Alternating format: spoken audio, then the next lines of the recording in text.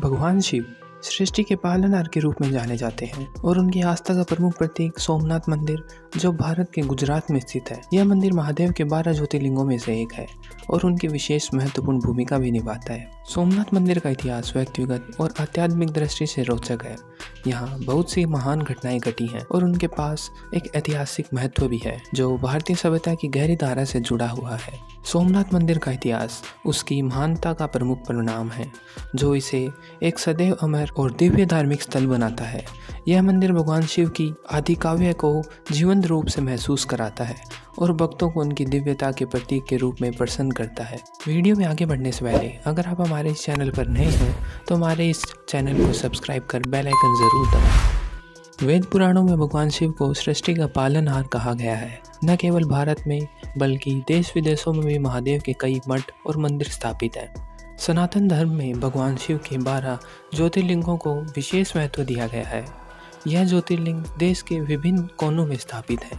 इनमें से एक है ऐतिहासिक सोमनाथ मंदिर, जहाँ कई बार आक्रमण हुए। इस मंदिर को कई बार खंडित भी किया गया और कई बार लूटा गया। लेकिन आज भी यह मंदिर अपने सौंदर्य और आस्था के लिए विश्व भर में प्रख्यात है।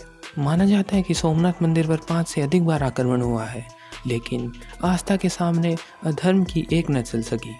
यही कारण है कि आज भी यह मंदिर अपने अनगिनत शिव भक्तों के लिए आस्था का केंद्र बना हुआ है। इस ज्योतिर्लिंग की महिमा श्री भगवद गीता संकट पुराण और महाभारत जैसे कई वेद पुराणों में बताई गई है। जिनके अनुसार भगवान शिव को चंद्रदेव ने अपना स्वामी अर्थात नाथ मानकर तपस्या की थी। इसलिए इस ज्योतिर्लिंग को सोमनाथ यानी चंद्र के स्वामी के नाम से भी जाना जाता है। भगवान सोमनाथ का यह मंदिर करीब 150 फीट ऊँचा और गर्भगृह सभा मंडप और नृत्य मंडप इन तीन भागों में विभाजित है। इस मंदिर के शिखर पर स्थित कलश करीब 10 टन वजनी है।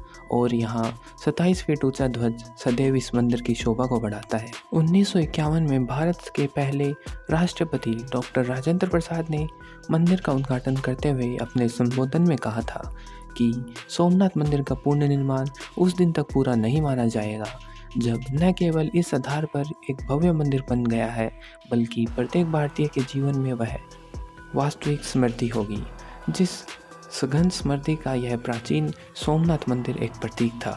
उन्होंने आगे शब्द जोड़ते हुए कहा था कि सोमनाथ मंदिर दर्शाता है कि पूर्ण निर्माण रूपी शक्ति हमेशा विनाश रूपी नकारात्मक से विजय होती है।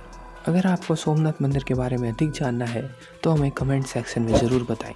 अगर आपको हमारे वीडियो अच्छा लगा तो इस वीडियो को लाइक, शेयर और हमारे इस चैनल को सब्सक्राइब ज़रूर करें।